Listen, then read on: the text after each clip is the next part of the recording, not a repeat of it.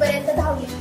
मेट्रोच्या उद्घाटनाच्या दिवशी मेट्रो वसवा स्थानकावर ते घाटकोपरपर्यंत धावली. मेट्रो कोणत्या इंधनावर चालते? मेट्रो विजेवर चालते. एका मेट्रोत किती पायलट असतात? एका मेट्रोत एकच पायलट असतो. मेट्रोला दोन्ही बाजूनी इंजिन असते का? लोकल प्रमाणे मेट्रोलाही दोन्ही बाजूनी इंजिन असते. मेट्रो ट्रेन फक्त चार डब्यांची असते. मेट्रोला स्वतःची कार शेडही असते. घाटकोपरहून वर्सवा स्थानक वर्सवाला मेट्रो पोहोचली की ती कार शेडमध्ये जाते. तिथे पायलट उतरून घाटकोपरच्या दिशेने इंजिन असलेल्या केबिनमध्ये येतो. मग मेट्रो घाटकोपरच्या दिशेने नेतो.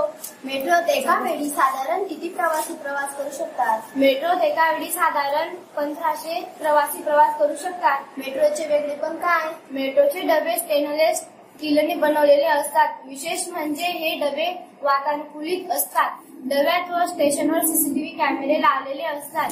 मेट्रोचे दरवाजे आपोआप उघडतात. मात्र आपोआप बंद होत नाही. ते पायलटला बंद करावे लागतात. पायलटसाठी बंद केविन असते. केबिनमध्ये मेट्रो चालवायची पूर्ण यंत्रणा बसवलेली असते. मेट्रोच्या यंत्रणेमध्ये बिघाड झाला तर कार्य का- काय करायचे याचे पूर्ण प्रशिक्षण पायलटला दिले असतं.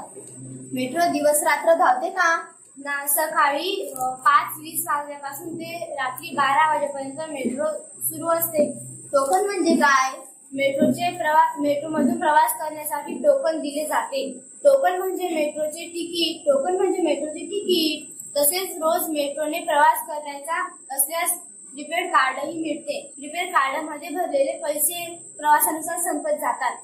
ते संपले की पुन्हा मेट्रोचे मेट्रोचे तिकीट विंडोवर जाऊन त्यात पैसे भरावे लागतात. मेट्रोने प्रवास करते वेळी हे टोकन किंवा प्रीपेड कार्ड असावेच लागते. हे टोकन टाकल्यावर किंवा प्रीपेड कार्ड मशीनवर ठेवल्यानंतरच मेट्रोचे दरवाजे उघडतात आणि मगच प्लॅटफॉर्मवर जाता येते. म्हणजे कुणी विना तिकीटचा प्रवास करू शकत नाही. नमस्कार.